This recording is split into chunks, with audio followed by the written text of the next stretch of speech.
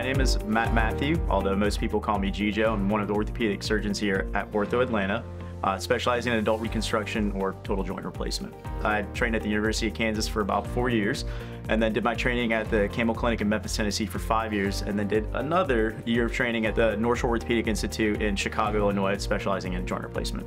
I specialize in joint replacements, I think more so because seeing the quality of life it brings back to patients, whether it's taking arthritic hip or taking arthritic knee, and patients that can't walk in their grocery store, they can't go to a CVS or a Target or a Kroger, being able to have them do meaningful activities such as that, or meaningful activities with their family. And at the end of the day, quality of life is all that matters. I think the thing I enjoy the most about working with patients is seeing them after surgery. And I say that because, yes, of course, surgery is what I do, it's what I have the most fun in, but I think establishing those relationships with patients after the fact and kind of seeing where they go in their journey and their recovery is probably the most rewarding part. So I think the way I approach patient care and overall communication with patients is establishing a relationship. Anytime I meet a patient for the first time, I'm gonna spend as much time as I need to understanding what's going on. And I think the overall goal of why I take care of patients and when I talk to patients is formulating a plan. So when a patient comes in with an issue such as arthritis in their knee or hip, I'm gonna talk about their x-rays, you know, what's going on in terms of their quality of life, and then